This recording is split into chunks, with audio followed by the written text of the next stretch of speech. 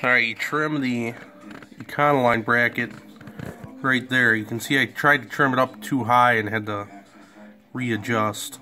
So you don't need to trim quite as much off as that top mark.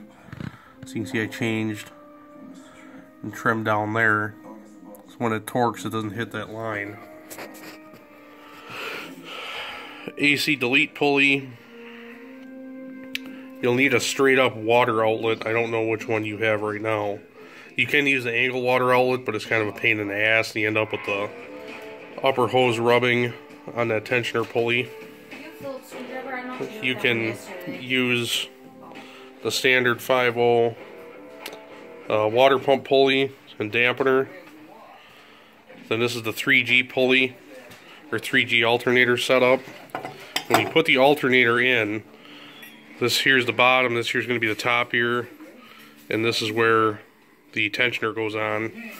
You're going to need to trim this area right here to put in a 3G alternator. I just take a grinder and just got to kind of grind a little U out right about there.